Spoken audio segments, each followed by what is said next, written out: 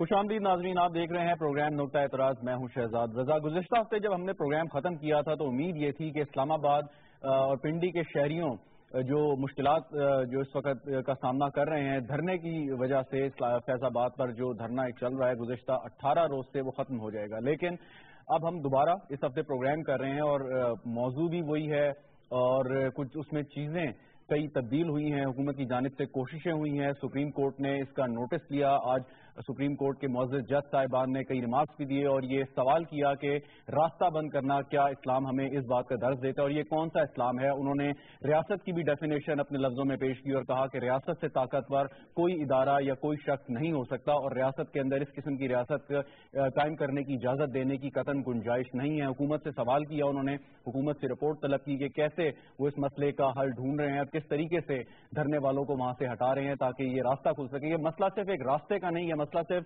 فیض آباد جو جنکشن ہے، اس کے بند ہونے کا نہیں ہے، بلکہ یہ مسئلہ ہے سیاست، ریاست کی ریٹ کا بھی کہ کیا ایک گروہ ریاست کی ریٹ کو اس طریقے سے چیلنج کر سکتا ہے اور کیا وہ مسلسل اٹھارہ روز تک اپنی بات منوانے کے لیے وہاں پر رہ سکتے ہیں اور ایسے مطالبات جو مناسب نہیں ہیں، بلکہ اگر جس بنا پر وہ یہ دھرنا شروع کر کے آئے تھے، وہ وجہ جو ہے وہ دور ہو گئی ہے۔ اگر کسی سے غلطی ہوئی تھی تو اس کی بھی معافی مانگ لی گئی ہے۔ اور پھر بھی بات یہ کی جا رہی ہے کہ مزید مطالبات اگر کوئی ایسے ہیں جو جائز تصور کیے جا سکتے ہیں، ان کو میز پر بیٹھ کر سنا جائے گا اور حل کیا جائے گا۔ کئی راؤنڈ ہو چکے ہیں، لیکن اس کا ابھی تک کوئی نتیجہ نہیں نکل پایا۔ وزیر داخلہ احسن اقبال صاحب نے میڈیا سے گفتگو کرتے ہوئے کہا کہ یہ ایک لال مسجد کا طرح کا ایک پھندا تیار ہو رہا ہے اور وہ حکومت نہیں چاہتی کہ وہ طاقت کے زور پہ ان لوگوں کو وہاں سے اٹھائے۔ اگر وہ چاہے تو یہ چند گھنٹوں کا کام ہے ان کو اٹھانا، لیکن حکومت چاہتی ہے کہ بغیر کسی ناخوشگوار واقعے کے اس معاملے کا تصفیہ ہو جائے۔ لیکن ہم نے دیکھا دو ہزار سات میں جب جنرل مشرف کی حکومت تھی اور جنرل مشرف بڑے پاور میں تھے اس وقت اور اپوزیشن کا بھی کوئی اتنا زیادہ اس طریقے سے چیلنج فیس نہیں کر رہے تھے، لیکن لال مسجد کے واقعے نے حکومت کی جڑیں ہلائیں، نہ صرف حکومت کی جڑیں ہلائیں بلکہ پاکستان کے کونے کونے میں دہشت گردی کی ایک لہر نے پورے پاکستان کو لپیٹ میں لے لیا تھا۔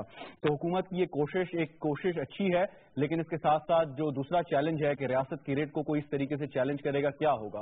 اور اس کے ساتھ خالی یہ ایک انتظامی مسئلہ نہیں ابھی ایک سیاسی مسئلہ بھی نظر آ رہا ہے۔ مسلم لیگ نواز جو پنجاب میں بہت مضبوط پارٹی ہے اور یہ کہا جاتا ہے کہ جو بریلوی طبقہ ہے، جو بریلوی مسئلہ فگر سے لوگ تعلق رکھتے ہیں، وہ ان کی اکثریت مسلم لیگ نواز کو ووٹ دیتی ہے۔ لیکن اگر اس معاملے پر کوشش کی جا رہی ہے کہ وہ والا ووٹ بینک توڑ دیا جائے، ان خیالات کا اظہار وزیر داخلہ صاحب نے کیا، اس میں کتنی حقیقت ہے، یہ تو اس وقت ہی پتہ چل سکتا ہے۔ لیکن سیاسی طور پہ ایک مشکل مسلم لیگ نواز حکمران جواد کے لیے ختم نہیں ہوتی، ایک دوسری آ کھڑی ہوتی ہے، تو حکومت کو جس طریقے سے ایک کام کرنے کا موقع ملنا چاہیے تھا پانچ سال تک کے لیے، وہ اس طریقے سے نہیں مل پایا۔ یہی شکایت پاکستان پیپلز پارٹی کو بھی تھی اپنے دورے اقتدار میں، اور اب مسلم لیگ نواز جیسے ہم کہتے ہیں کہ اگر مسلسل اس طریقے سے حکومتیں چلیں گی، جمہوریت کا تسلسل آگے بڑھے گا، تو پاکستان میں ادارے اور نظام مضبوط ہو سکتا ہے۔ لیکن اگر رکاوٹیں اس قسم کی پیدا ہوں گی، تو یقیناً ہم اس ٹارگٹ کو، اس گول کو تک نہیں پہنچ سکتے۔ ان تمام ایشوز پر آج بات کریں گے۔ میرے اسٹوڈیو میں جوائن کریں شیخ روہیل اصغر صاحب، کسی تعارف کے محتاج نہیں ہے مسلم لیگ نواز سے تعلق ہے شیخ صاحب۔ بہت شکریہ آپ کا۔ حافظ طاہر خلیل صاحب روزنامہ جنگ کے بیورو چیف اسلام آباد میں ہیں، بہت سینئر ہمارے کالیگ ہیں حافظ صاحب، آپ کا بھی بہت شکریہ۔ سلمان غنی صاحب ہمیں جوائن کر رہے ہیں لاہور سے ایگزیکٹو ایڈیٹر ہیں دنیا گروپ کے۔ سلمان غنی صاحب، آپ کا بھی بہت بہت شکریہ۔ شیخ روہیل صاحب، آپ کی جانب سب سے پہلے میں آتا ہوں۔ اور یہ جو مسئلہ ہے، ایک تو مزید اس پہ کچھ بات کرنے کی تبصرہ کرنے کی اتنا کچھ کہا جا چکا ہے۔ آپ نے بھی شاید اس پہ کافی بات کی ہے۔ میں صرف پوچھنا یہ چاہوں گا کہ اور جو بڑا کامن سا سوال ہے۔ لوگ کہتے ہیں کہ ہم نے اسلام آباد سے پنڈی جانا ہے یا پنڈی سے اسلام آباد آنا ہے۔ تو ہمارے سر پہ یہ عذاب کیوں ہے؟ اور وہ سوال یہی کرتے ہیں کہ ہم نے تو آپ لوگوں کو منتخب کیا ہے۔ آپ لوگوں کی ذمہ داری ہے کہ ہمیں اس قسم کی مشکلات سے بچائیں۔ بسم اللہ الرحمن الرحیم۔ برسہ برسے لوگ اسلام آباد میں رہنے کئی سڑکیں کئی گلیاں کئی بازار نہیں دیکھے تھے۔ اسی دھرنے کی وجہ سے آج دیکھنا ہو گئے کون سی گلی سے نکل کے کون سی گلی میں جانا میں خود ایسے کرتا ہوں۔ آتا ہوں تو میرے خیال میں شاید ایک ایک گھنٹہ لگ جاتا ہے کبھی کسی گلی سے کبھی کسی گلی سے ہو کے میرے اسلام آباد پہنچ چلیے ٹھیک ہے اگر کوئی اس طرح کرنا چاہتا ہے تو کر لے۔ لیکن اس کا دیکھیں دو چیزیں جو میں شاید سمجھتا ہوں۔ میں کوئی عالم تو نہیں ہوں۔ عالم تو وہ ہیں جو بیٹھے ہوئے ہیں۔ جو بڑی شائستہ اور بڑی خوبصورت اور بڑی گلاب کی پنکڑیاں ان سے نکلتی ہیں جس قسم کی گفتگو ہوتی ہے۔ اب میں ویسی گفتگو کر نہیں سکتا۔ ہاں نجی زندگی میں کر لوں گا لیکن یہاں پہ مجھے یہ خوف رہتا ہے کہ آپ کے لوگ دیکھ رہے ہیں وہ مجھے سیکھیں گے۔ تو بہتر سیکھیں مجھ سے۔ اب واپس آتا ہوں اس طرف۔ دو تین چیزیں بڑی ضروری ہیں۔ ایک تو میں بڑی محتاط انداز میں بات کروں گا۔ جب بھی بات کروں گا اس مسئلے میں بڑے محتاط کیونکہ ان کے پاس ایک بڑا آسان طریقہ ہے فتوا جاری کر دیا۔ چاہے وہ میری موت کا کر دیں چاہے وہ میری زندگی کر دیں جو بھی کر دیں ان کے ہاتھ میں منہ سے نکل گئی بات تو بس نکل گئی۔ تو اس پہ پھر میرے خیال میں کوئی اور کسی فورم پہ جا کے آپ اس پہ ریکٹیفکیشن نہیں کر سکتے۔ اسی طرح دوسری طرح آپ جب کہہ رہے تھے عزما کی بات ابھی آپ کر رہے تھے۔ تو عزما میں بھی وہ یہ ہے کہ آپ بات کریں گے کنڈیم آف کورٹ لگ جاتی ہے۔ دو چیز بڑی کامن ہے نا دونوں میں۔ ادھر فتوا ادھر کنڈیم آف کورٹ تو دونوں کے لیے آپ کو خطرہ رہتا ہے بڑا بڑی احتیاط سے بات احتیاط سے بات۔ بھائی آپ ریمارکس نہ دیں آپ کوئی اس کا حل بتا دیجیے تو حل کیا ہے؟ اچھا میں بڑا حیران ہوا سن کے آپ کی باتیں اور میں ان صاحبان کی بھی جو بڑے بڑی مسن پہ بیٹھے ہیں۔ کہ اسٹیٹ کیوں نہیں کر رہی، آپ کیوں نہیں کر رہے، خالی کروا دیں۔ کیا تھا؟ خالی کیا تھا؟ ہم نے تو کوشش کی تھی، کیا کسی اور نے تھا۔ مالڈو یاد ہے؟ کیوں کیا تھا؟ وہ بھی راستے بند کیے ہوئے تھے نا عوام کے۔ راستے کا مسئلہ تھا۔ بند کیا ہوا تھا نا؟ کیا کیا؟ کتنا بھگتے؟ آج تک بھگت رہے تو آپ یہ چاہتے ہیں کہ پھر دوبارہ اسی قسم میں انسیڈنٹ کروایا جائے یہاں پہ بھی۔ کرنے والا کوئی اور، بھرنے والا کوئی اور۔ تو اس میں بھی پھر یہی آئے گا نا وزیر داخلہ کو اڑا دیجیے وزیر اعظم کو اڑا دیجیے آپ کہہ رہے ہیں کہ ماڈل ٹاؤن کا جو واقعہ ہوا اس میں کوئی اور راستہ بند تھا نا جی۔ نہیں نہیں راستہ تو بند تھا لیکن کاروائی تو پنجاب پولیس نے کی یا نہیں؟ پنجاب پولیس بیچاری میرے خیال میں ویسی تلی گئی ہے اچھا۔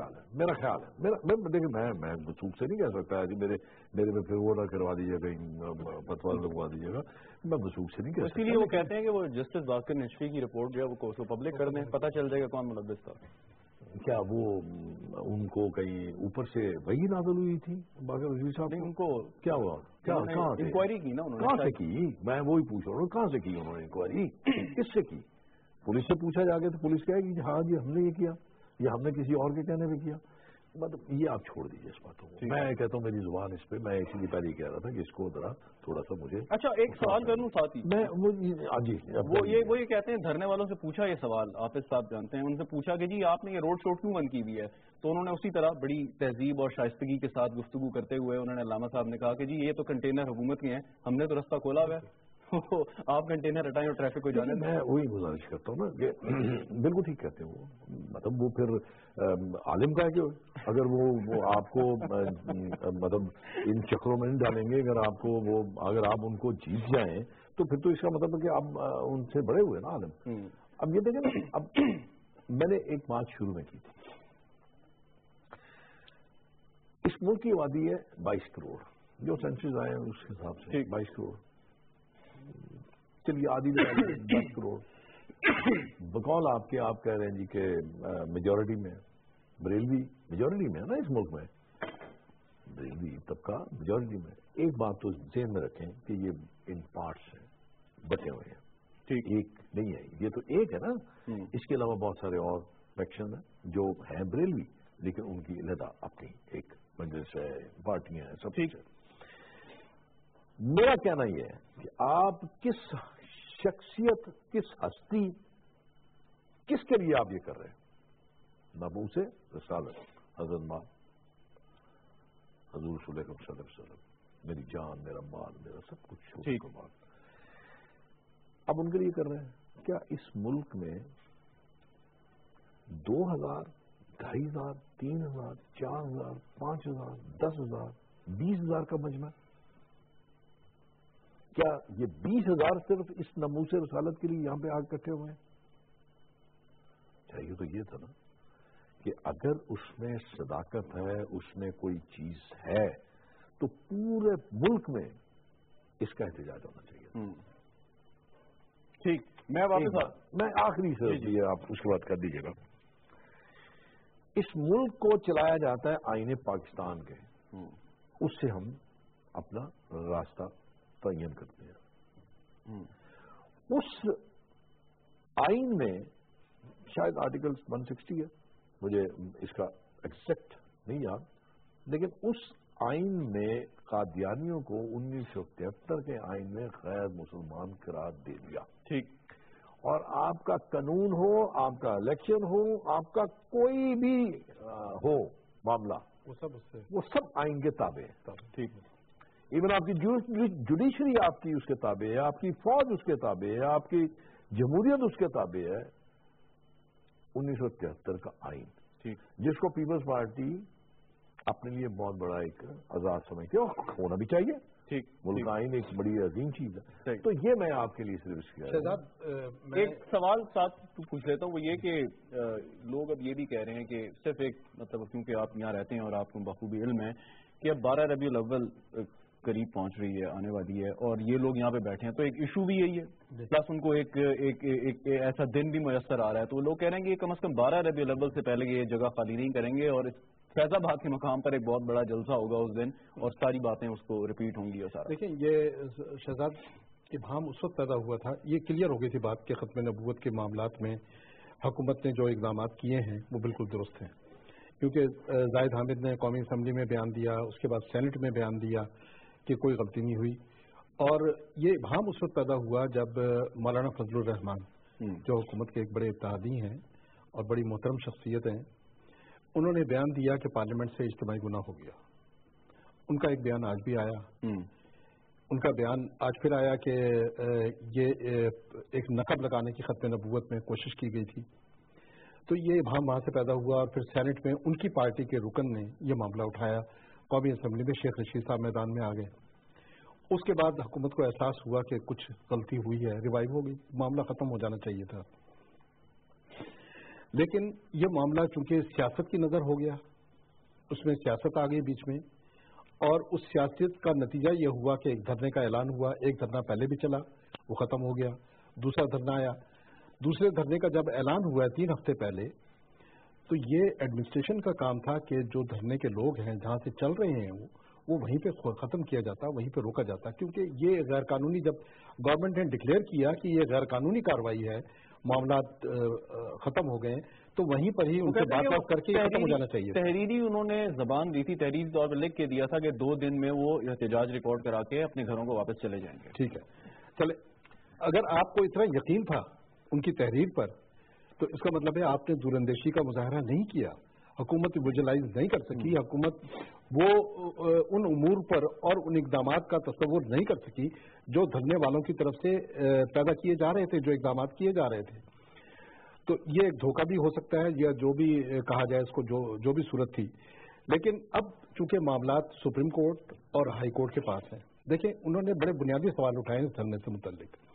اور میرا خیال ہے کہ دھرنے کی انتظامیہ کو بھی تدبر اور دانش مندی کے ساتھ ان سوالوں کا جواب دینا چاہیے۔ حافظ صاحب آپ حافظ قرآن ہیں آپ دین پر حدیث پہ قرآن پاک پہ آپ گہری نظر رکھتے ہیں آپ نے اس کی قرآن پاک کی تفسیر بھی یقیناً پڑھی ہوگی۔ تو عام لوگ یہ امپریشن لے رہے ہیں اور اکثر یہاں پہ ہم نے دیکھا ہے کہ کچھ لوگ جو ہیں وہ موٹر سائیکلوں پہ پھر کے عام لوگوں سے پوچھتے بھی ہیں کہ بھائی آپ دھرنے میں جا رہے ہیں یا نہیں جا رہے ہیں آئی ڈونٹ نو وہ کون لوگ ہیں۔ لیکن آپ جب اس طریقے سے برملا اظہار کرتے ہیں تو کیا آپ یہ امپریشن نہیں دیتے کہ آپ کے صرف جو چند سو لوگ جو وہاں بیٹھے ہیں، ان کے علاوہ باقی جتنے پاکستان میں مسلمان ہیں، شاید ان کو اتنی محبت نہیں ہے نبی پاک صلی اللہ علیہ وسلم سے کہ آپ یہ امپریشن شاید دینے کی کوشش کر رہے ہیں۔ نہیں، دیکھیں، یہ فیصلہ کرنا کہ جو اجماع اجماع ہے پاکستان کی، جو پاکستان کی اکثریتی آبادی ہے، وہ کس عقیدے کی ہے؟ یا میرا کام بھی نہیں ہے، یا کسی عالم دین کا یہ کام بھی نہیں ہے؟ کہ وہ میرے میرے عقائد کے بارے میں، میرے عقیدے کے بارے میں کہ میں راسخ العقیدہ مسلمان ہوں یا نہیں ہوں، یہ اس بارے میں وہ فیصلہ کرنے کا مجاز نہیں ہے۔ اس لیے کہ میرے اپنے اعمال، میرے اپنے افعال، میرا اپنا کردار وہ اس بات کی نشاندہی کرے گا کہ میں کتنا راسخ العقیدہ مسلمان ہوں یا نہیں ہوں؟ اس کی وجہ سوال پوچھنے کے باوجود بھی ہاں میں سلمان غنی صاحب کے پاس میں یہ ایک چھوٹی سی بات۔ اس کے باوجود بھی آپ کو کسی نے اختیار نہیں دیا کہ آپ کسی کے مطلب یہ کہہ سکیں کہ وہ کتنے سلمان غنی صاحب ایک مختصر سوال اور سوال پچھلا پوچھنے کی وجہ یہ تھی حافظ صاحب آپ سے یہ کہ آپ کے میڈیا گروپ کے حوالے سے بھی انہوں نے کئی باتیں کی۔ اور کہا کہ جو شخص اخبار پڑھے گا یا وہ ٹی وی دیکھے گا وہ دائر اسلام سے خارج ہوگا یا صحیح سچا محب نہیں ہوگا رسول پاک کا۔ تو یہ اس قسم کی باتیں کرنا یہ کہاں تک جائے دیکھیں نا یہ دیکھیں کہ آپ جبر کے ذریعے کہ آپ میرا پیغام جو ہے وہ لوگوں تک پہنچائیں یہ کوئی اسلامی شاعر کی بات نہیں ہے۔ میں نے پہلے عرض کیا لوگوں کو مشتعل کرنا لوگوں کو اکسانا کہ جناب وہ پتھر اٹھائیں وہ آگ لگائیں یہاں شہر میں۔ نبی اکرم صلی اللہ علیہ وسلم کی ایک بڑی حدیث ہے بڑی بہت مشہور حدیث ہے کہ اگر تم نے تعلیم حاصل کرنی ہے تو چین جاؤ۔ اس کا مطلب جنرل نالج کی بات ہے نا۔ اگر آپ نے کوئی تعلیم حاصل کرنی ہے کوئی آپ نے سوچ کو آگے بڑھانا ہے یا اپنی سوچ کو آگے لے کے چلنا ہے تو اس کے لیے آپ کو چاہے چین جانا پڑے سیکھنے کے لیے آپ جائیں۔ یہ حدیث ہے۔ دیکھیں جبر جو ہے نا وہ دین میں نہیں ہے۔ لا اکراہ فی الدین۔ کہ دین میں کوئی جبر کے معاملات نہیں ہیں۔ دین ایک محبت کا نام ہے دین ایک رغبت کا نام ہے دین ایک عقیدے کا نام ہے۔ جس کے لیے میں سلمان غنی صاحب کافی دیر سے بیٹھے ہیں۔ سلمان غنی صاحب معذرت ذرا گفتگو یہاں لمبی ہوگی لیکن میں آپ سے سوال یہ کرنا چاہوں گا حافظ طاہر خلیل صاحب نے ایک جملہ کا انہوں نے یہ کہا کہ یہ دھرنا جو تھا جس طریقے سے آیا لیکن پھر سیاست کی نظر ہو گیا۔ آپ سیاسی معاملات پر نظر رکھتے ہیں اور جیسے میں نے پہلے کہا کہ یہ بھی کچھ رپورٹس آ رہی ہیں کہ جو مسلم لیگ نواز کا پنجاب میں خاص طور پہ جو بریلی ووٹ بینک ہے، شاید اس کو نقصان پہنچانے کی بھی یہ کوشش ایک ہو سکتی ہے، اگر کوئی ہو سکتی ہے تو۔ تو پہلی بات تو یہ کہ کیا اس میں سیاست ہو رہی ہے اور اگر ہو رہی ہے تو اس کا جو نقصان ہے وہ کیسے مسلم لیگ نواز کو ہو سکتا ہے۔ شکریہ شہزاد ابھی آپ کے پروگرام کے آغاز پہ آپ نے جب سوال کیا شیخ رحیل اسکر صاحب سے تو انہوں نے اپنے مخصوص انداز میں جواب دیا اور میرے ذہن میں آ رہا تھا کہ کچھ کہہ نہ سکے کچھ کہہ بھی گئے کچھ کہتے کہتے رہ بھی گئے۔ اور آپ نے دیکھا کہ جو تحفظات پاکستان کے عوام کے پاکستان کے پولیٹیشنز کے ذہنوں میں تھے وہ پاکستان کی عدالت عظما اور اس کے دو سینئر ججز نے ان کا اظہار کر دیا، وہ سوالات اٹھا دیے۔ پنجاب حکومت کی بات بھی کی، جسٹس بشیر عالم نے کہ انہوں نے انہیں کیوں آنے دیا؟ اور پھر یہ بھی کہا کہ کنہوں نے انہیں لا کے بٹھایا ہے؟ کن کے کہنے پہ یہ بیٹھے ہیں؟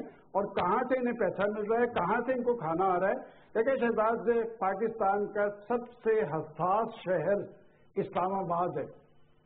اس لیے کہ وہاں پر پارلیمنٹ ہاؤس بھی ہے، وہاں پر جی ایچ کیو بھی ہے۔ وہاں پر ایوان صدر بھی ہے وہاں پر ایوان وزیر اعظم بھی ہے اور سب سے سینسٹو بات کہ وہاں پر دنیا بھر کے سفارت خانے بھی ہیں۔ اور جہاں تک دھرنے کی بات ہے تو بات یہ کہ پاکستان کے تین ریاستی ادارے کہ پاکستان کی مکنہ پاکستان کی عدلیہ اور پاکستان کی انتظامیہ تینوں نے ریزرویشن ظاہر کی اس دھرنے پہ۔ جہاں تک کہ دھرنے کے مقصد کی بات ہے کہ اگر تو ان کا مقصد واقع ختم نوبت کے وہ نکات تھا تو ختم نوبت آپ کا بھی مسئلہ ہے میرا بھی اتنا ہی مسئلہ ہے۔ اور بات یہ کہ وہ نکات سے جب پارلیمنٹ نے اپنی غلطی تسلیم کر لی اس کے بعد دھرنے کی نوعیت سیاسی ہو گئی۔ اور میں سمجھتا ہوں کہ یہ بڑا اہم سوال پاکستان کی عدالت عظما کی طرف سے آیا ہے کہ پتہ کروایا جائے کہ اس کے پیچھے کون ہے۔ بات ہے کہ یہ اگر آج یہ پتہ چل جائے تو یہ سلسلہ جو اسلام آباد میں ایک تماشا لگنے کا سلسلہ شروع ہے پچھلے دو ڈھائی سال پہلے بھی۔ اب تو وہ رانا ثناء اللہ صاحب نے کہا کہ ہمیں دو دن کی یقین دہانی کروائی گئی تھی کہ دو دن کے بعد واپس آ جائیں گے۔ تو شہزاد، یہ بات بھی ریکارڈ پہ ہے اور حافظ طاہر خلیل صاحب اس کی تعریف کریں گے کہ چودھری نثار علی خان نے بھی اس وقت کے دھرنے کے بارے میں کہا تھا کہ مجھے یقین دہانی کروائی گئی۔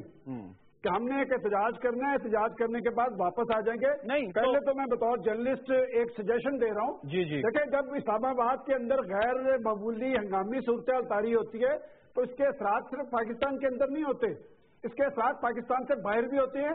اور میری سجیشن یہ ہے کہ یہ صرف دفعہ ایک سو چوتالیس کا مسئلہ نہیں ہے۔ آپ کو ایک قانون سازی کرنی ہوگی کہ اسلام آباد کے اندر معمولی ہنگامی صورتحال تاری کرنے پر پابندی لگائی جائے۔ اور جو لوگ اس میں ملوث ہیں جی, جی۔ سلمان صاحب کیا یہ ان کے خلاف انہیں پانچ سال یا دس سال کی سزا دی جائے۔ آخر کیا وجہ ہے کہ ہر دو چار ماہ کے بعد کریکٹ نہیں جاتا ہوں میں آپ کو ایک بات کہہ رہا ہوں۔ اگر اس کی تحقیقات نہ ہوئی تو شہزاد یہ اس مسئلے کے بعد ایک اور دھرنا ہوگا۔ بالکل میں سوال یہی آپ سے سوال یہی کرنا چاہ رہا تھا کہ آپ کی جو گفتگو ہے اور جو مجھے جو میں انڈرسٹینڈ کر پایا ہوں correct me if I am wrong کہ یہ دھرنا جو ہے، یہ کیا گزشتہ واقعات ہی کی کوئی ایک کڑی ہے؟ یا یہ ایک علیحدہ سے آپ سمجھتے ہیں کہ بالکل واقعہ ہے، بالکل یہ منفرد واقعہ ہے یہ؟ نہیں شہزاد میں نے پہلے جو بات کی ہے کہ اسلام آباد بڑا حساس شہر ہے اور اسلام آباد کے اندر اس طرح کی صورتحال کے اثرات صرف پاکستان کے اندر نہیں ہوتے، پاکستان سے باہر بھی ہوتے ہیں۔ اور آج تو ہم نے اسلام آباد اور پنڈی ہماری طاقت کا مرکز ہے اور یہاں پر غیر معمولی سے صورتحال، یہاں پر بے چینی پیدا کرنا، میں بڑی کلیئر کٹ بات کہہ رہا ہوں کہ یہ دشمن کا ایجنڈا ہو سکتا ہے۔ اس لیے کہ اسلام آباد کی طرف ہماری جو علاقائی تنہائی تھی وہ ختم ہو رہی تھی۔ اسلام آباد لوگوں کی توجہ کا مرکز بن رہا تھا۔ ہماری ایک عالمی حیثیت جو ہے بحال ہوئی تھی۔ لیکن آج اسلام آباد کے اندر کیا ہو رہا ہے؟ میں سمجھتا ہوں کہ پاکستان کی عدالت عثمان نے ہمارے دو سینئر ججز نے جو سوالات اٹھائے ہیں وہ بڑے ویلڈ ہیں۔ بالکل۔ آپ ان کی تحقیقات کروائیں اور پتہ چلوائیں کہ آخر یہ کس کے کہنے میں بیٹھے ہیں۔ ایک بات میں ضرور کہوں گا کہ پنجاب گورنمنٹ کی بھی نااہلی ہے کہ یہاں سے آپ نے انہیں کیوں کر جانے دیا بالکل۔ اور آپ نے ان کے وعدوں پہ اعتبار کر لیا جبکہ اس سے پہلے بھی آپ ایک سو چوبیس دن کا دھرنا بھگت چکے ہیں اور وہ دھرنا گورنمنٹ نے نہیں بکتا چلیں۔ ریاست پاکستان میں بالکل صحیح۔ میں واپس آتا ہوں۔ سلمان صاحب سلمان صاحب میں واپس آتا ہوں۔ ہم تو آپ کو نہیں روک سکے۔ جو جی چاہتا ہے لکھتے ہیں جو جی چاہے بولتے ہیں۔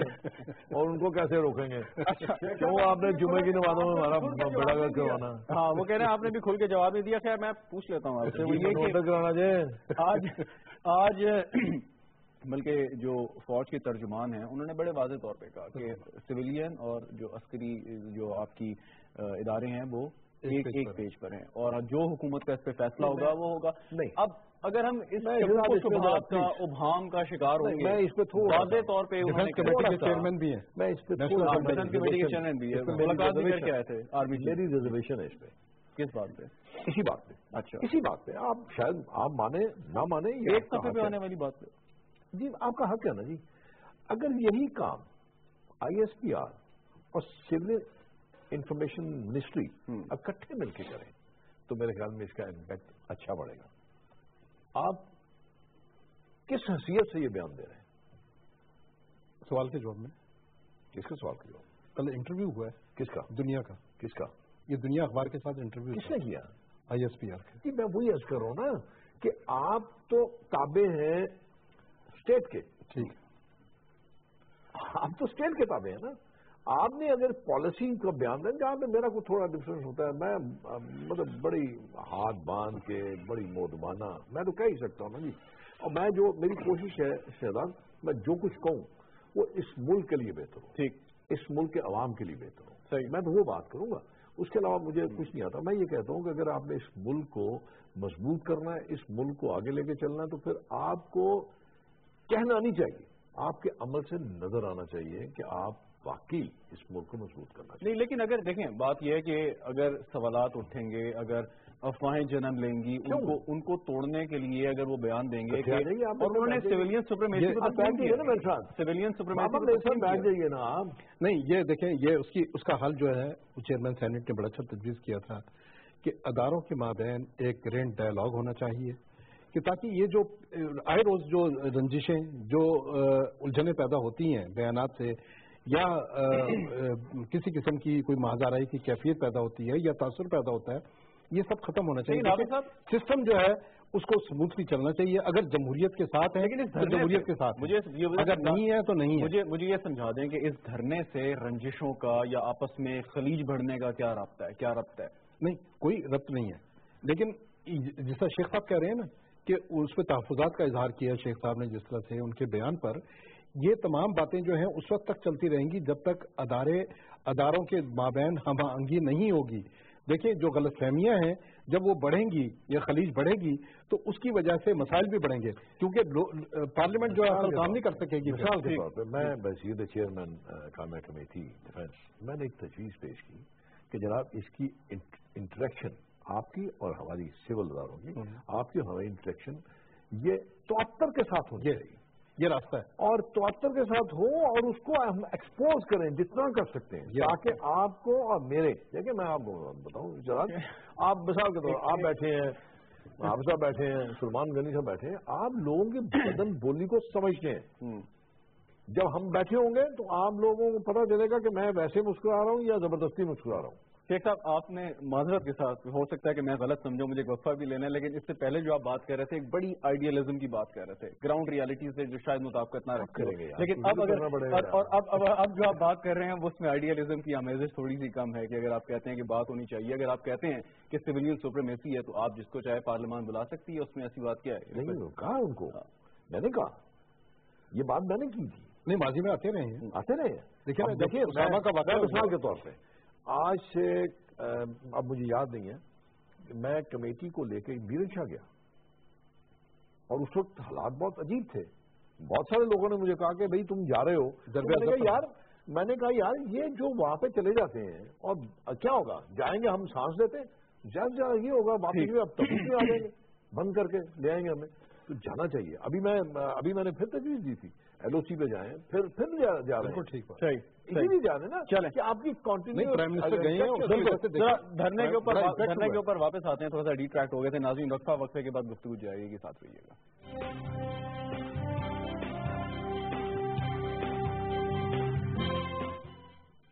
بہو چائے تیار ہے۔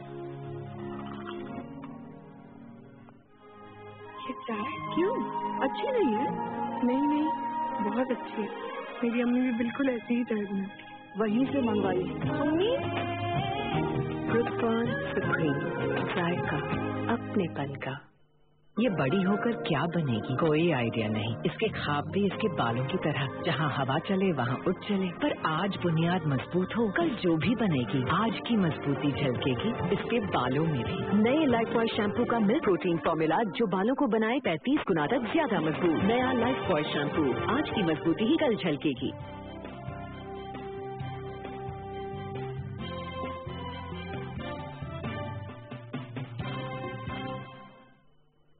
پروگرام میں ایک بار پھر خوش آمدید ناظرین بات کر رہے تھے۔ دھرنے کی جو اٹھارہ روز سے جاری ہے، مشکلات اسلام آباد اور پنڈی کے شہریوں کی اسی طرح سے ہیں اور جس طریقے سے پاکستان کی جگہائی بھی ہو رہی ہے اور دھرنے کے شرکا کو باوجود اس کے کہ بار بار موقع دیا گیا اور اب عدالت عظما نے بھی معاملے کو ٹیک اپ کیا اور واضح طور پہ انہوں نے کہا کہ کیا یہ اسلام ہے کہ لوگوں کے راستوں کو آپ بند کر دیں اور ریاست سے زیادہ طاقتور کوئی ادارہ، کوئی شخص نہیں ہو سکتا۔ شیخ روہیل اصغر صاحب، حافظ طائف خلید صاحب اور سلمان غنی صاحب ساتھ موجود ہیں۔ سلمان صاحب، میں نے آپ سے سوال کیا تھا، اسی سوال میں تھوڑی سی ترمیم کر کے دوبارہ کرنا چاہوں گا۔ سوال یہ تھا کہ سیاسی طور پہ اس دھرنے کا فائدہ یا نقصان کسی ایک یا دوسری جماعت کو ہو سکتا ہے۔ اور بات جو ہو رہی ہے کہ این ایک سو بیس کا جو ضمنی انتخاب ہوا، اس میں دو اشخاص نے اس میں حصہ لیا اور وہ دونوں اس دھرنے میں انہوں نے یہاں پہ آ کے پارٹیسپیٹ بھی کیا، تقاریر بھی کی اور کل ملا کے انہوں نے بارہ کے ہزار کے قریب ووٹ لیے۔ تو لوگ یہ اندازے لگا رہے ہیں کہ اگر ان کی طاقت بڑھتی ہے یا یہ ان کا پیغام زیادہ جاتا ہے، تو جو مسلم لیگ نواز کا ایک ووٹ ہے، جو بریلوی ووٹ ہے سو کارڈ اگر اس کو کہا جائے کہ واقعی اگر ایسا مسلم لیگ نواز اکثریت ان بریلی ووٹ کو حاصل کرنے میں کامیاب ہوتی ہے، تو وہ جو طاقت ہے، وہ کمزور ہو جائے گی۔ وہ ووٹ اتنا پڑے گا نہیں اگلے انتخابات میں، تو شاید اس کی پہلے سے یہ کوئی تیاری ہو رہی ہے۔ یہ لوگ اندازے لگا رہے ہیں یا اس پہ تجزیے کر رہے ہیں؟ دیکھیں شہزاد، مجھے یاد پڑتا ہے کہ جب این اے ایک سو بیس کی انتخابی کمپین شروع ہوئی تو میں وہ جرنلسٹ تھا ریکارڈ پہ آپ کے چینل پہ بھی دنیا چینل پہ بھی اور مختلف چینل پہ جی۔ میں یہ کہتا کہتا رہا کہ میرا انٹرسٹ تیسری پوزیشن میں ہے۔ کہ دونوں پوزیشن تو بڑی واضح ہیں پہلی اور دوسری کس کی ہوگی؟ کہ تیسری پوزیشن میں اس لیے کہہ رہا تھا کہ وہاں پر جماعت اسلامی جیسی پیپلز پارٹی جیسی قومی جماعتیں بھی موجود تھیں۔ ملی مسلم لیگ اور تحریک لبیک یا رسول اللہ بھی میدان کے اندر آئی تھی اب ایک بات تو بڑی کلیئر ہو گئی کہ اب یہ پولیٹیکل پارٹیز ہیں۔ اب ان کے سیاسی مقاصد ہیں۔ اور میں بالکل اس بات کی تعید کرتا ہوں کہ یہ پارٹی ایک وقت تھا کہ پاکستان کے اندر جو بریلوی مقصد فکر، یہ ایک بڑی سیاسی قوت کے طور پہ تھا۔ مولانا شاہ احمد نورانی کی جے یو پی اس کے بھٹو دور کے اندر، سندھ کے اندر وہ قاعدے اس پہ خلاف تھے اور پاکستان کے اندر بھی ان کا ایک ووٹ بینک تھا۔ ایسا ایسا اس کا ووٹ بینک کم ہوتا گیا۔ پھر ڈاکٹر تارو قادری کے رول کی وجہ سے بریلوی مکتب فکر اور زیادہ دفاعی محاذ پہ چلا گیا۔ اب ان کے سیاسی مقاصد اور یہ ڈکے چھپے نہیں ہیں۔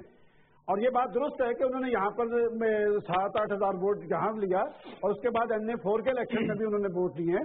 وہ بریلوی مکتبہ فکر کو اپنی طرف اٹریکٹ کرنا چاہتے ہیں اور اسلام آباد کے اندر وہ اس دھرنے کے جو اصل مقاصد کے خاتمے کے بعد اب اپنے سیاسی مقاصد کے لیے سرگرم ہے وہاں پر کوئی غیر معمولی صورتحال تاری کرنا چاہتے ہیں۔ اور میں سمجھتا ہوں ایک بات مجھے کہہ لینے نے شیخ رئی لشکر صاحب بھی موجود ہیں۔ ہماری الیکٹڈ گورنمنٹ اس پہ بھی انجانا سا خوف تاری ہے۔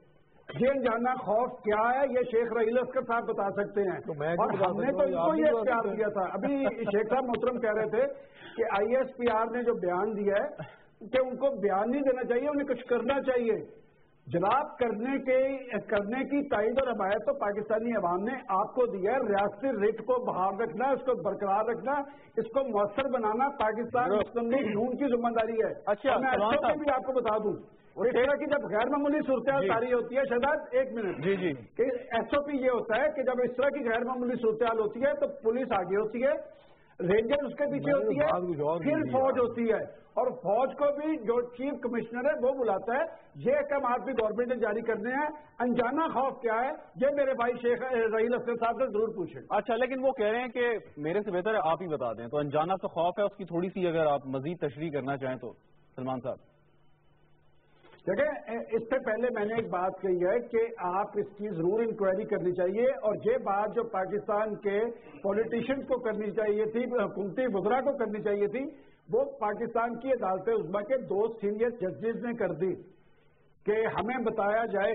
دیکھیں یہ آج انہوں نے ریمارک کیوں دیے کہ آپ کی وزارت داخلہ اور وزارت دفاع اپنی رپورٹس لے کر گئی تھی۔ اس پہ انہوں نے ریزرویشن ظاہر کی۔ انہوں نے کہا کہ یہ رپورٹس تو پہلے آ چکی ہیں۔ ہمیں بتایا جائے کہ یہ آئے کیسے یہ بیٹھے کیسے ہیں انہیں فنڈ کون دے رہا ہے انہیں کھانا کون سپلائی بڑا آسان ہے نا جی ان کے لیے۔ تحقیقات ہونی چاہیے وہ بڑا آسان ہے ان کے لیے، بنا دیں۔ پھر اسلام آباد میں تاری ہوگی دیکھیے میں بڑا بزدل آدمی ہوں میں ڈرپوک آدمی ہوں سلمان صاحب میں بزدل آدمی ہوں ڈرپوک ہوں۔ یا میں مان لیتا ہوں میں لائیو پروگرام مان لیتا شیخ صاحب، ہوں پردہ سلمان صاحب ہے۔ آپ میری بات مانے نا سن لیں؟ سن شیخ صاحب کی بات سن لیں۔ آپ اگر اس کو آپ نے سو موٹو لیا ہے تو آپ اس پہ ایک جوڈیشل کمیشن بنائیں۔ وہ سارا دودھ کا دودھ پانی کا پانی لا کے آپ کو دے دے گا۔ آپ پھر اس کو ذرا پبلک کر دیجیے اچھا نہیں لیکن ایک بات ہے کہ اگر لوگ آتے ہیں یہاں پہ اگر ان کی کوئی فنڈنگ کرے میں صرف ایک مفروضے کی بنیاد پہ بات کر رہا ہوں سر۔ اگر اگر سن- لینا سر۔ اگر میں مفروضے کی بنیاد پہ بات کروں اگر کوئی واقعی ایسا ہو رہا ہے تو شیخ سلمان صاحب درست فرما رہے ہیں کہ لوگوں نے ووٹ آپ کو دیا ہے منتخب حکومت آپ ہیں۔ آپ کیوں کہتے ہیں کہ سپریم کورٹ کمیشن بنا لے؟ آپ خود تحقیقات کر کے ہٹا دیں۔ آپ بجا فرما رہے ہیں آپ بالکل ٹھیک کر رہے ہیں۔ میں تو میں نے میرے خیال میں شاید آپ لوگ میری جو میں نے گفتگو کی ہے شاید بھول گئے ہیں۔ یا شاید آپ کو مطلب جان بوجھ کے آپ نہیں، جان بوجھ۔ کر رہے ہیں تو میں نے بڑی تفصیل سے بات کی تھی کہ آپ خدا کے لیے آپ سمجھنے کی کوشش کیجیے کہ عوام کے جذبات اپنی جگہ پہ عوام کا ہمارے پہ اعتماد اپنی جگہ پہ۔ لیکن یہ جس معاملے میں ان لوگوں نے یہ دھرنا دیا ہوا ہے یا جو باتیں وہ کرتے ہیں وہ ایک ایسی ہستی کے لیے کرتے ہیں جس کے جس پہ کوئی دو رائے نہیں ہے۔ اور اس کے لیے آپ کوئی اگر خدا نہ خواستہ ایک کوئی غلط اقدام کر دیتے ہیں آپ سے کوئی لوز مطلب کوئی ایسا ہو جاتا ہے جو پھر آپ کے گلے میں پڑ جائے گا پھر آپ ایک اپنی بنا لیں گے جوڈیشل کمیشن بنا لیں گے اس پہ پھر ایک رپورٹ آ جائے گی پھر اس پہ سب کچھ آئے گا۔ جیسے میں نے بڑی تفصیل سے آپ کو بتایا تھا معاملہ تو وہ بھی راستہ روکنے کا تھا نا معاملہ یہ بھی راستہ روکنے کا۔ اب یہ معاملہ کس نے راستے پہ بٹھا دیا ہے لا کے اور کون ان کو پیسے دے رہا ہے کون ان کو اتنا کھانا دے رہا ہے؟ میرے خیال میں شاید میں وہاں تک پہنچ نہ پاؤں۔ اچھا لیکن کیوں؟ پتہ نہیں مجھے نہیں پتا یہ آپ سب بتا دیں گے یہ بڑے نیک آدمی ہیں۔ نہیں لیکن شہزاد بات یہ ہے دیکھیں بنیادی جو بات ہے جو سپریم کورٹ نے آج کی جس کی سب تائید کرتے ہیں کہ ایک اسلامی ریاست میں مسلمانوں کا رہنا مشکل ہو رہا ہے۔ بالکل بہت بڑی بات۔ یہ یہ جو ایک بیسک بات کی ہے نا کہ مسلمان پھر انہوں نے آرٹیکلس کے حوالے دیے ہیں چودہ پندرہ انیس کے کہ ان آرٹیکلس کی مسلسل خلاف ورزی ہو رہی ہے تین ہفتے سے خلاف ورزی ہو رہی ہے اور ریاست کہاں ہے؟ کوئی اس بات کو اس بات پہ توجہ نہیں دے رہا۔ اب اس صورت حال کا ازالہ کیسے ہو؟ اس کے لیے ایک ہی راستہ نظر آتا ہے کہ دونوں فریقین اپنی اپنی پوزیشن سے پیچھے ہٹیں اور ایک میں- ایسے دیکھیں ادب کے ساتھ تھوڑا سا یہ کر لوں آپ سے۔ یہ کوئی عدم یہ کوئی اتنے سارے ریمارک دے کے ہفتے کے لیے ڈن کر دیا ادب کے ساتھ تھوڑا سا اختلاف کروں آپ سے کہ اگر ہم یہ بات کرتے ہیں کہ دھرنے والے یہاں پہ آئے اور غیر قانونی طور پہ بیٹھے ہیں سپریم کورٹ کی آبزرویشن آ گئی اسلام آباد ہائی کورٹ نے حکم جاری کر دیا تمام لوگ یہ بات کر رہے ہیں کہ اور یہ غیر قانونی کیوں کہہ رہے ہیں آپ؟ کیونکہ ایک سو۔ چوالیس اسلام آباد میں لگی ہے مطلب آباد اگر وہ تو بیٹھے ہوئے پنڈی کی حدود میں۔ نہیں وہ آدھے اسلام آباد میں آدھے۔ اسلام آباد میں ایک۔ ٹانگ ادھر ایک ٹانگ ادھر لیکن تو وہ- میرا سوال یہ ہے کہ۔ جب ہم یہ کہتے ہیں کہ دونوں فریق بیٹھے اور لچک دکھائیں تو ہم کیوں ان کو ریاست یا حکومت کے برابر فریق تصور کر رہے ہیں نہیں جب آپ نے مسئلے کو حل کرنا ہے تو آپ کو ایک لائے عمل ایک حکمت حل ہو گیا۔ جس مسئلے پہ آئے جب ان کو واپس بھیج دیکھیں آپ ان کو فورس کے ذریعے نہیں بھیج سکتے آج خود وزیر داخلہ نے یہ بات کہی ہے کہ اگر ہم چاہیں تو تین گھنٹے کے آپریشن میں یہ کلیئر کر سکتے ہیں لیکن نہ ہم لال مسجد کا سانحہ دہرانا چاہتے ہیں نہ لاہور کا واقعہ دہرانا چاہتے ہیں۔ جب آپ میں یہ پولیٹیکل ول نہیں ہے تو پھر آپ ایک تیسرا راستہ اپنائیں مذاکرات کا۔ تو مذاکرات کو سنجیدگی سے آگے بڑھائیں اور حکمت کا راستہ اپنائیں نہیں تو اس میں تدبر سے کام لیتے ہوئے دیکھیں پھر اگر آپ نے سرنڈر کرنا ہے تو پھر تو بڑا آسان ہے۔ سرنڈر کی وزیر قانون صاحب سے درخواست کریں کہ آپ نہیں سرنڈر کی بات نہیں ہے۔ اس میں ایک درمیانی راستہ رضا میں آپ کو بتاتا ہوں۔ میں تھوڑی سی گزارش ہے ہم سب سے۔ جب آپ نے ایک طے کر لیا کہ آپ نے کسی معاملے پہ آپ نے کسی چیز کو ختمی طے نہیں کرنا یا اس پہ آپ نے کمپرومائز نہیں کرنا ٹھیک۔ جب یہ طے تو پھر تو کچھ کر لیجیے آپ جتنی مرضی لاجکس لے لیجیے جتنا مرضی آپ ان کو دلائل سے آپ کنوینس کیجیے وہ نہیں ہوں گے۔ جو جس ایشو پہ آئے وہ ایشو ریز ہوا اس ایک اقرار نامہ اور حلف نامہ آپ نے ایک چیز رہنے دی دوسری چیز آپ نے اڑا دی۔ اس پہ آئے۔ اس پہ حکومت نے فوری طور پہ نوٹس لیا اور اس کو ریکٹیفائی کر دیا۔ ٹھیک کر دیا درست کر دیا۔ یہ معاملہ ختم ہو گیا۔ اب ختم ہو جانا چاہیے نا۔ اب اس پہ تو کوئی قدر نہیں۔ آج اب اس کے بعد یہ ہے۔ اب اس کے بعد کیا ہے؟ اس کے بعد یہ جی کہ اس کو یہ دیکھیں گے کس نے کیا۔ کہ اب وزیر قانون جو ہے اس پہ ریزائن کریں۔ اب وزیر قانون کا رول کتنا ہے اس میں اب ذرا یہی غور ذرا غور سمجھیے گا۔ اگر آپ چاہیں تو میں آپ کو فارمیشن بتا دوں کیا ہوگا۔ نہیں نہیں وہ ہمیں معلوم ہے کہ جس طریقے سے ایک سو چھ اجلاس ہوئے اس پارلیمنٹری جی بالکل بالکل بالکل۔ تبھی وہ مولانا فضل الرحمان صاحب اس میں کسی نے نہیں یہ پوائنٹ اٹھایا۔ چلے میں سلمان صاحب سے پوائنٹ لے۔ سلمان صاحب یہ جو گفتگو ہے اور سب یہ تھی کہ ہاں، سیاسی مسئلہ اس کا بن چکا ہے؟ حافظ صاحب نے کہا آپ نے بڑی تفصیل سے اس پہ روشنی ڈالی۔ مجھے صرف اتنا سمجھا دیں کہ یہ مسئلہ اتنا حساس ہے ہم نے دیکھا کہ سلمان تاثیر صاحب نے جو سابق گورنر پنجاب جس طریقے سے انہوں نے ایک کیس کو ٹیک اپ کیا، انہوں نے باتیں کی، شاید ان کے سے کوئی ایسی باتیں بھی ہو گئی ہوں کہ جو مناسب نہ ہو سکت، لیکن پھر بھی کسی صورت یہ کسی کو حق نہیں پہنچتا تھا کہ ان کی جان لیتا، جو کہ لیکن ہو گیا۔ اب مسئلہ یہ کہ اتنے سینسٹیو ایشو پہ، اتنے حساس ایشو پہ لوگوں کے جذبات بڑی آسانی سے آپ بھڑکا سکتے ہیں۔ مسلم لیگ نواز کے لوگوں نے ایم این ایز نے ایم پی ایز نے سپورٹرز نے لیڈران نے ووٹ مانگنے جانا ہے، جلسے کرنے ہیں۔ تو خدا نخواستہ اس مسئلے کو اگر آپ زیادہ بڑھائیں گے، طول دیں گے، ان لوگوں کو اگر کوئی ایسی چیز ساتھ میں مل جائے گی اور وہ ناموس رسالت کا نعرہ لے کے اگلے انتخابات میں اتریں گے، تو ایک طرف تو سیاسی طور پہ نقصان ہوگا، یہ ان کے لیے ان کی جان کو خطرہ ہو سکتا ہے۔ یہ تو اتنا سینسٹیو مسئلہ ہے، اس کو جلد از جلد اتنا حل ہونا چاہیے، ہونا ہو جائے۔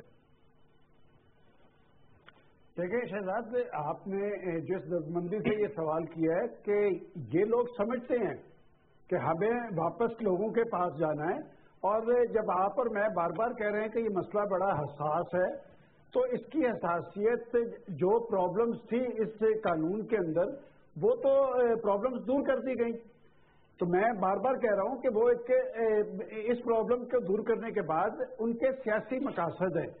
اور پاکستان کی عدالت عثمہ نے جو بات کہی ہے کہ شیخ صاحب نے بھی اس کی تائید کر دی ویسے شیخ صاحب کھل کے بات نہیں کر رہے۔ اور پھر یہ کہہ دیں گے کہ شاید کلر دیکھ کے پہ گئے ہیں۔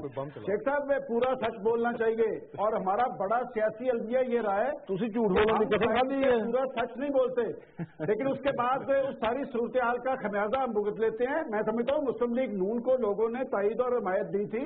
اس لیے کہ پاکستان کے اندر انہوں نے گورننس قائم کرنی ہے۔ اچھا۔ پاکستان کے اندر لا اینڈ آرڈر میں کا خاتمہ کل کو آپ نے ٹھیک ہے وہاں پر جانا ہے لوگوں کے پاس۔ جی۔ یہ اصل میں دیکھیں میں نے میں نے شہزاد ایک بات کہی تھی کہ یہ خوفزدہ ہیں۔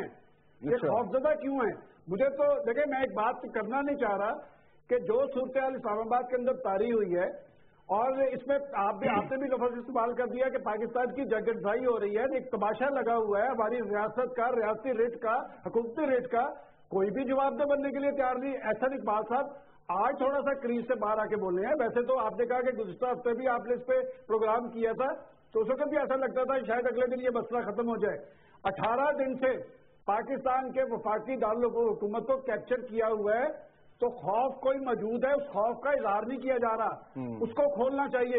اور میں ایک بات آپ کو یہ کہتا چلوں کہ بات یہ کہ پاکستان ایک ذمہ دار ملک ہے۔ پاکستان ایک نیوکلیر پاور ہے۔ ہم یہ کہتے ہیں کہ اکنامک کوریڈور کے نتیجے میں ہم نے اقتصادی خود انصاری کی منزل کی طرف پہنچنا ہے۔ یہ صورتحال یہ نہیں بتا رہی۔ یہ صورتحال اس کو سیکنڈ نہیں کر رہی۔ اور میں سمجھتا ہوں کہ جو بات پاکستان کی عدالت عثما نے کہی ہے، آخر ان میں اتنی سکت نہیں ہے اتنی صلاحیت نہیں ہے کہ یہ خود جا کے جرت کریں۔ بات یہ کہ جس طرح کیا کرنا چاہیے سلمان جا صاحب آپ کے خیال میں۔ آپ کے خیال میں حکومت وقت کو کیا کرنا چاہیے۔ مذاکرات کے لیے اتنا وقت دیا بار بار بڑھایا کئی راؤنڈ ہوئے کیا کرنا چاہیے پاکستان کے کرنا چاہیے امتحان ہے ریمارک دے گھنٹے ایک ہفتے کی۔ امتحان ہے بہت بڑا بڑا۔ بہتر گھنٹوں کے اندر انہیں یہ درجہ یہاں سے اٹھانا چاہیے ورنہ خود ان کی ریٹ کے آگے سوالیہ نشان کھڑا ہوگا۔ اچھا وہ تو لوگ کہہ رہے ہیں کہ پہلے ہی کھڑا ہو چکا ہے۔ لوگ یہ بات کہہ رہے ہیں کہ اٹھارہ روز سے دھرنا جاری ہے سوالیہ نشان پہلے ہی کھڑا ہو چکا ہے۔ جی بہتر گھنٹے کا موقع آپ کو اور مل گیا ہے۔ شیخ صاحب سلمان صاحب کی جانب سے۔ مسلمان بادشاہ آدمی ہے جی۔ میرا عزیز ہے حفصہ میرے عزیز ہے۔ میرے خیال میں میں نے اپنی جتنی آپ کے پروگرام میں تھی کوئی کسی قسم کا ابہام نہیں رہنے دیا۔ لیکن وہ ایک سوال آ گیا ان کی جانب سے۔ پتہ نہیں کون سا سوال کر رہا کہ خوف زدہ ہیں پتہ نہیں خوف کس چیز کا ہے؟ مجھے- اگر ہے تو ہے یا تو یہ سلمان غنی مجھے نہیں جانتے یا میں سلمان غنی کو نہیں جانتا۔ میں کتنا خوف زدہ رہتا ہوں۔ نہیں آپ کے بارے میں نہیں کہہ رہے جنرل بات کر میں تو کم سے کم کہہ سکتا ہوں نا۔ جی۔ میں نے تو بڑے کھل کے کہہ دیا جو کیا نہیں اس کو آج تک بھگت رہے ہیں۔ اور مدد کے ساتھ یہی عدلیہ کل پھر سو موٹے لے گی۔ یہ جو آج آپ ریمارکس دیکھ رہے ہیں نا کتنا سینسٹیو معاملہ ہے۔ اگر آپ نے ایکشن کر دیا میں میں دیکھ رہا نا اب کتنا سینسٹیو معاملہ ہے۔ کہ سارے ریمارکس دینے کے بعد ایک ہفتے کے لیے ایڈجن کر دیا۔ ٹھیک ہے؟ یہ کیا نا لوگ کے اندھے ہیں بہرے ہیں۔ آپ کو آپ کو آپ کو موقع دیا نا موقع نہیں دیا۔ ہے۔ حکومت کو کے معاملے کو؟ کس ریزالو کو؟ کرے غلط بات ہے نا جی۔ اگر مجھے موقع دینا تھا تو سو فوٹو لینے کی تم کیا تھی۔ نہیں دیکھیں کر رہے تھے۔ دیکھیں کام یہ عدلیہ نے تو جا کے نہیں بات سر نہیں کر رہا یہ تو انتظامیہ کا میں کام ہے۔ یہ- میں یہ کہہ رہا ہوں جو ریمارکس دیے ہیں میں اس ریمارکس کی بات کر رہا ہوں۔ ٹھیک ہے بولے چلیے جی میں چھپا رہا ہوں۔ نہیں آپ کے پاس آپ کو اختیارات ہے آپ کھول۔ لیجیے آپ دکھا دیجیے آپ دیکھ لیجیے آپ بتا دیجیے۔ لیکن یہ بات میں آپ کو بڑے وسوخ سے بات دوں کہ آپ یہ کر کے دیکھیں۔ یہی عدلیہ بڑے خوبصورت مارکس دے گی یہ گاڈ فادر ہے نہیں لیکن مجھے ایک چیز سمجھ میں آپ سے واپس آتا ہوں جو سوال لے کرنا ہے کنفیوژن تھوڑی سی میرے ذہن میں۔ سلمان صاحب کچھ ایڈ کرنا چاہ رہے تھے آپ کوئکلی کیجیے پروگرام کا وقت چھوڑا تاکہ میں شیخ صاحب سے سوال میں سر ایک- بات دوبارہ کہہ دیتا ہوں دیکھیں کسی بھی ریاست کے چار ادارے ہوتے ہیں مکنا عدلیہ انتظامیہ اور کچھ کچھ ہم بھی۔ بات ہے کہ سب کا اتفاق رائے ہے کہ یہ درجہ وہاں سے اٹھانا چاہیے۔ وہ کسی کی بات ماننے کے لیے اچھا سلمان صاحب اتفاق رائے تو معذرت کے ساتھ اتفاق رائے تو لال مسجد آپریشن سے پہلے بھی تھا۔ اور لال مسجد آپریشن کے بعد جو کچھ ہوا وہ بھی آپ کے سامنے میرے سامنے ہے کہ جو اس فورتھ پلر آف اسٹیٹ جو صحافت ہے اس کے جو بہت بڑے سرخیل اس وقت بات کرتے تھے جنرل مشرف صاحب کو ارج کرتے تھے کہ آپ آپریشن کریں۔ آپریشن کے بعد انہوں نے کیا کیا؟ یہ بھی سامنے ہے۔ تو اس پہ ایک ایک جی تو پاکستان کی عدلیہ آزاد ہے۔ جی، متفرق ہے اس کے تو تمام احکامات پہ فوری فوری بالکل بڑی- پرائم منسٹر کو الیکٹڈ پرائم منسٹر کو اسی وقت اسٹیپ ڈاؤن کرنا پڑتا ہے۔ بالکل، بالکل ٹھیک۔ ایک- ہوں کہ بات یہ کہ اگر جو مقاصد ہے وہ حل ہو چکے ہیں۔ اب وہ کیوں بیٹھے ہیں؟ یہ صرف عدالت کی طرف دیکھنے کی بجائے حکومت کا فرض ہے کہ درست کو درست چلیں۔ میں شیخ صاحب سے شیخ صاحب سے کامنٹ لے لوں تو پھر حافظ صاحب کے پاس شیخ صاحب ایک جو بات آپ ٹھیک ہے آپ کہہ رہے ہیں کہ اگر آپریشن ہوتا ہے تو یہی عدلیہ جو ہے اس کو مطلب آپ ایک پریانت کر رہے ہیں ایک بات۔ لیکن مجھے یہ سمجھا دیجیے کہ ایک قانون شکنی ہو رہی ہے۔ اسلام آباد میں پنڈی میں جو دارالحکومت ہے آپ کا۔ پہ آپ صرف اس ڈر سے آپریشن نہیں کریں گے یا قانون توڑنے والے کو گرفتار نہیں کریں گے کل سو موٹو ہو جائے گا۔ نہیں نہیں یہ بات نہیں ہے۔ ہو جائے اس کی پرواہ نہیں ہے۔ بہت کچھ ہو گیا۔ اب یہ ایک اور سوموٹ ہو جائے گا اس کی پرواہ نہیں ہے۔ پرواہ اس بات کی ہے کہ آپ سمجھ رہے ہیں کہ انہوں نے جو ایشو کھڑا کیا بڑا سینسٹیو ہے۔ وہ بہت سینسٹیو ہے۔ آپ نے ابھی بات کی تھی آدھی بات کر کے آپ تھوڑا سا ادھر ادھر چلے گئے تھے۔ سلمان تصیر کی بات کی ان کو مارنے کی بات کی۔ پھر اس کے بعد کیا آپ چاہتے ہیں کہ یہاں پہ ایک نیا ممتاز کا آدمی میں خدا نہ خواستہ کبھی میں وہی میں گزارش ہی کر رہا ہوں نا۔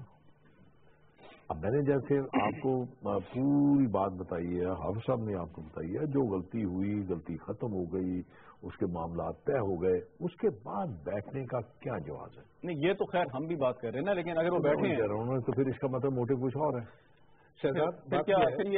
بات یہ ہے کہ انتخابات جو ہیں محض چار پانچ مہینے کے چھ مہینے کے فاصلے پر ہیں۔ یہ جو ایشو ہے یہ انتخابات میں جانے والا ایشو ہے۔ اس کی بنیاد پر اگلا الیکشن بھی ہو سکتا ہے۔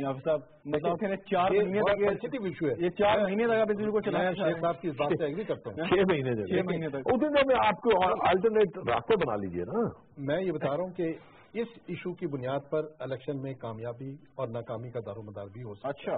اتنا سینسیٹیو یا میں آپ کو ایک چھوٹی سی بات کروں حالانکہ میرے خیال میں میں الحمدللہ مجھے اس بات میں کوئی آر نہیں ہے کہتے ہوئے کہ میں الحمدللہ میں بریلوی مسلک سے میرا تعلق ہے۔ لیکن فرق کیا ہے؟ فرق یہ ہے کہ میں کسی فقہ پہ کبھی میں کمنٹ نہیں کرتا۔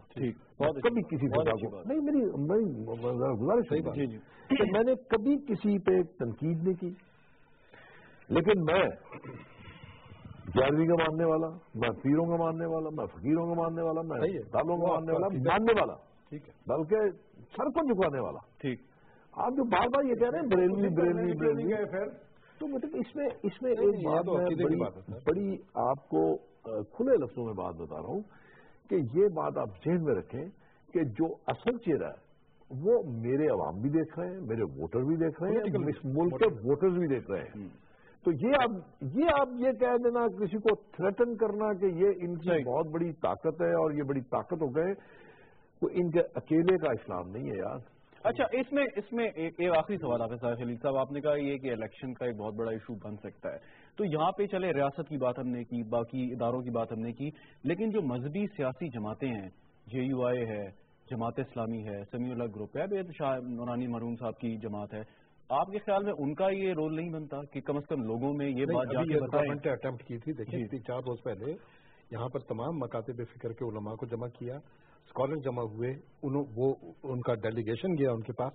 لیکن دیکھیں جب ایک گروہ یا ایک طبقہ اس بات پر اڑ جائے کہ وہ کسی کی دانش کی یا تدبر کی یا فراست کی بات سننے کے لیے تیار نہ ہو تو آپ اس کو دلیل کے ذریعے قائل نہیں کر سکتے۔ آپ کے پاس کوئی راستہ نہیں ہے۔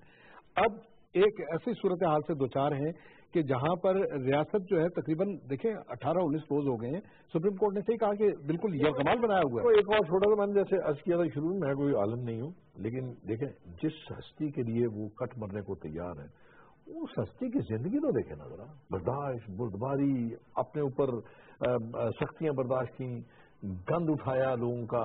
مطلب آپ دیکھیں ایون یہاں تک کہ منافق جس کی بچت ہی نہیں ہے اس کا جنازہ پڑھنا چاہیے اب اس ہستی کا آپ یہاں پہ کرنے ہم لے ہوئے ہیں نا سر۔ تو کم از کم ان کی مجھے کرنا ہے۔ بس ایک فائنل فائنل فائنل کامنٹ آپ کا سلمان صاحب پھر پروگرام کا میں صرف جو میرے بھائی طاہر خلیل صاحب نے کہا نا کہ اس ایشو پہ آنے والا انتخاب ہو سکتا ہے میں اسے سے اختلاف کرتا ہوں۔ پاکستان کے عوام بڑے باشعور ہیں۔ اور وہ اس طرح کے علماء کی، اس طرح کے سیاستدانوں کی بدن بولی بھی دیکھتے ہیں۔ میں نہیں سمجھتا کہ اس ایشو پہ کوئی اس طرح کا انتخاب ہونے جا رہا ہے۔ اور جو شخص ایک عالم دین کے روپ میں جو لینگویج استعمال کر رہا ہے، خود ججز کے بارے میں ریاستی اداروں کے بارے میں، پاکستان کے عوام اس کی تائید اور حمایت بالکل ٹھیک۔ بہت شکریہ سلمان غنی صاحب، حافظ طاہر خلیل صاحب، شیخ رویل اظہر صاحب، گفتگو ناظرین آپ نے سنی اور جو حافظ صاحب نے اور شیخ رویل اظہر صاحب نے بات کی۔ اور ساتھ میں سلمان صاحب نے بھی کہ باوجود بے تحاشا کوششوں کے خالی حکومت کے سیاسی لوگ نہیں، بلکہ عالم دین، جن کا مختلف مکاتب فکر سے اور غیر سیاسی لوگ، انہوں نے کوشش کی، دلائل سے قائل کرنے کی کوشش کی، لیکن ابھی تک اس میں کامیابی حاصل نہیں ہوئی۔ تو اب سوال یہی ہے کہ اگر ان لوگوں نے اٹھنا ہے تو کیا حکومت لچک دکھائے گی؟ حکومت کو لچک دکھانے کا کوئی جواب سامنے سمجھ نہیں آتا کیونکہ حکومت ریاست کی ریٹ کو جو ایکسرسائز کرتی ہے اور اگر ان کا مطالبہ مان لیتے ہیں تو پھر ریٹ کہاں جائے گی اور جو انہوں نے قانون شکنی اب تک کی ہے اس کا کیا بنے گا؟ لیکن اس کے ساتھ اگر کوئی شخص یا کوئی گروہ بات نہیں سن رہا، دلائل کی بات نہیں سن رہا یا ان کو اگر پیار سے سمجھایا جا رہا ہے تو وہ بات نہیں کر رہے، تو یقیناً پھر جو عدالت عثمہ نے یا اس سے پہلے اسلام آباد ہائی کورٹ نے جو باتیں کی ہیں، ان پر حکومت کو یقیناً عمل کرنا پڑے گا۔ لیکن امید ہم یہی کرتے ہیں کہ بغیر کسی ناخوشگوار واقعے کے، بغیر طاقت کے استعمال کے یہ واقعہ، یہ جو سارا معاملہ ہے، یہ حل ہو جائے گا اور جلد ہو جائے گا۔ پروگرام کا وقت ختم ہو اجازت دیجیے خدا حافظ۔